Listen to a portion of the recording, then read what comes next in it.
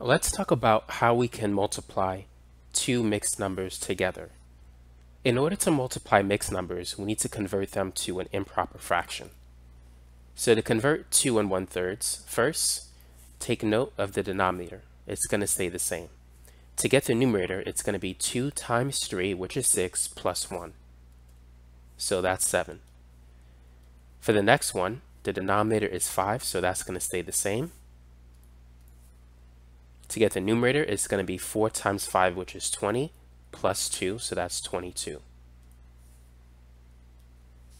Now, what we need to do is multiply across.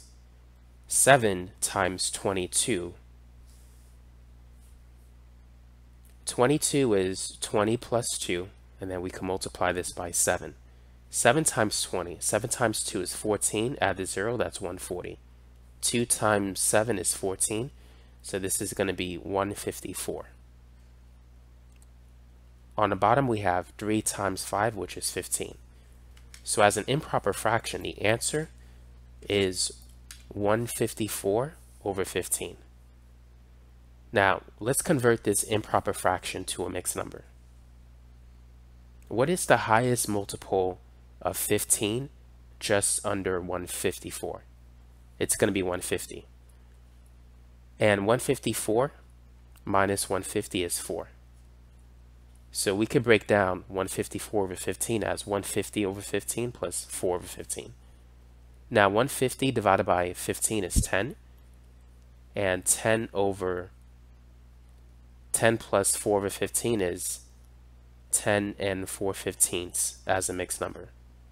So this is going to be our answer, which I'm going to rewrite it over here.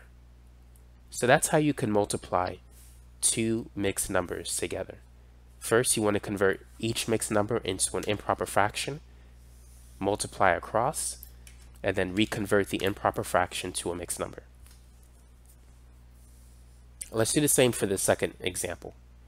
So let's convert these to improper fractions. First, let's keep the denominator the same. To get the numerator, it's going to be 3 times 4 plus 1. 3 times 4 is 12. 12 plus 1 is 13.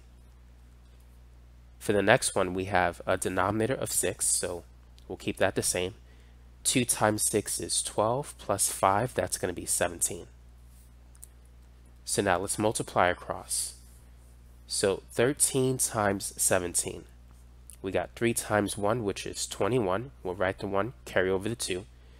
7 times 1 is 7, plus 2, that's 9. Write it 0. 1 times 3 is 3. 1 times 1 is 1. Add, we get 1. 3 plus 9 is 12. Carry over the 1. 1 plus 1 is 2. So 13 times 17 is 221. 4 times 6 is 24. So the answer as an improper fraction is 221 over 24. Now, what is the highest multiple of 24 just under 221. Well, let's do some work. Let's write let's write out the multiples of 24. We have 24, 48, 48 plus 24 is 72, 72 plus 24 is 96, 96 plus 24 is 120, 120 plus 24 is 144, add 24 to that, you get 168, 168 plus 24, 168 plus 20 is 188 plus 4, that's 192. 192 plus 24. 192 plus 20 is 212 plus 4, that's 216. If we add 24 to that, we'll be at 240.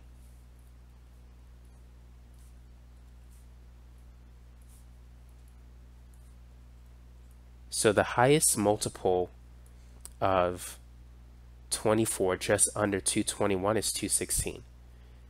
So 221, I can break that into 216.